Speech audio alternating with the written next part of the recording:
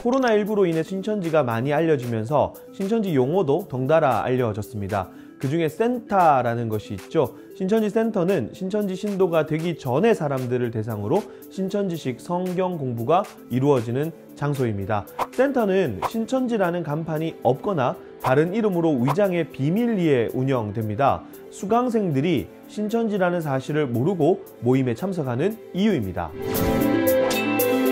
바른미디어와 신천지 대책 전국연합은 오랜 기간 이 센터가 학원법에 저촉된다고 주장해 왔습니다. 저는 이 부분이 신천지 문제의 핵심 중의 하나라고 생각하고 있습니다. 학원법은 학원의 설립, 운영 및 가외 교습에 관한 법률입니다. 학원법상 학원은 10인 이상의 학습자 혹은 불특정 단수에게 30일 이상 학습 장소로 제공되는 시설을 의미합니다. 신천지 센터는 일반적으로 6에서 7개월의 과정이고 인원은 20명 이상인 경우가 대부분이기 때문에 학원법상 학원에 해당합니다. 신천지 센터가 학원법에 저촉된다는 지적이 오래전부터 있어 왔습니다.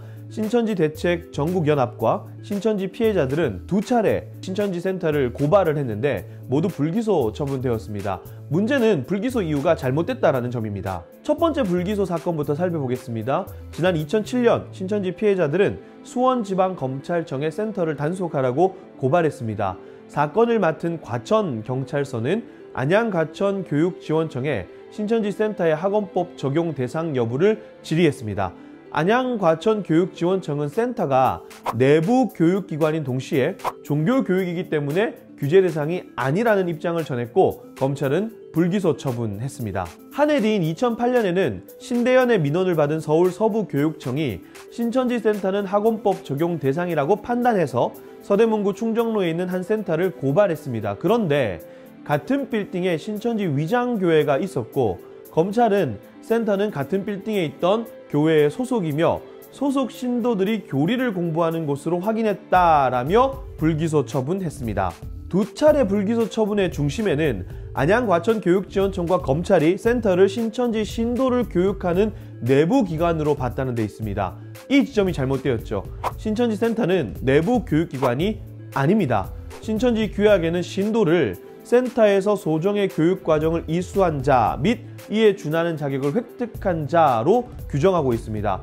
센터 수강생은 신도가 아니라는 뜻입니다. 그리고 지난 3월 2일 신천지는 이만희 씨가 등장한 기자회견에서 이렇게 말합니다. 질병관리본부에서 처음에 요청한 거는 우리 신천지 성도에 대한 명단을 요청했습니다. 아시겠지만 교육생들은 우리 신천지 신도가 아닙니다. 영상에서 말하고 있는 교육생이 바로 센터 교육생입니다. 불기소 이유가 완벽하게 잘못된 이유입니다. 또 하나 짚고 넘어가야 할 점은 종교 교육이기 때문에 단속할 수 없다는 안양과천교육지원청의 입장입니다.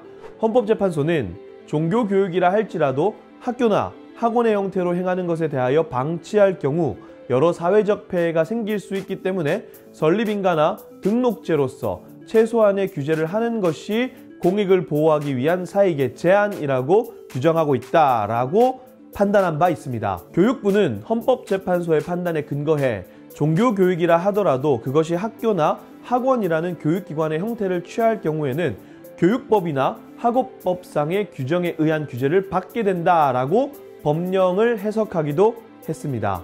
한편 학원법에 대한 두 가지 대표적인 오해가 있습니다. 첫 번째로 수강료 문제입니다. 수강료를 받지 않기 때문에 학원법 적용 대상이 아니라는 주장도 있지만 수강료는 학원의 요건과 아무런 관련이 없습니다. 둘째는 비밀 교육에 대한 내용입니다.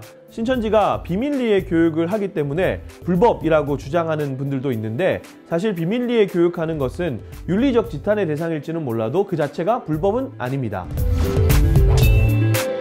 결과론적인 이야기지만 애초에 철저하게 제대로 수사를 했더라면 어땠을까요? 센터가 내부 교육기관이라는 잘못된 판단 때문에 방치된 신천지 위장 센터. 신천지가 이번 사태에서 센터 위치를 정직하게 공개하지 않았던 것이 굉장히 큰 논란이 되었고 문제 중에 하나가 되었습니다. 재수사에서 잘못된 판단을 바로잡아야 할 때입니다.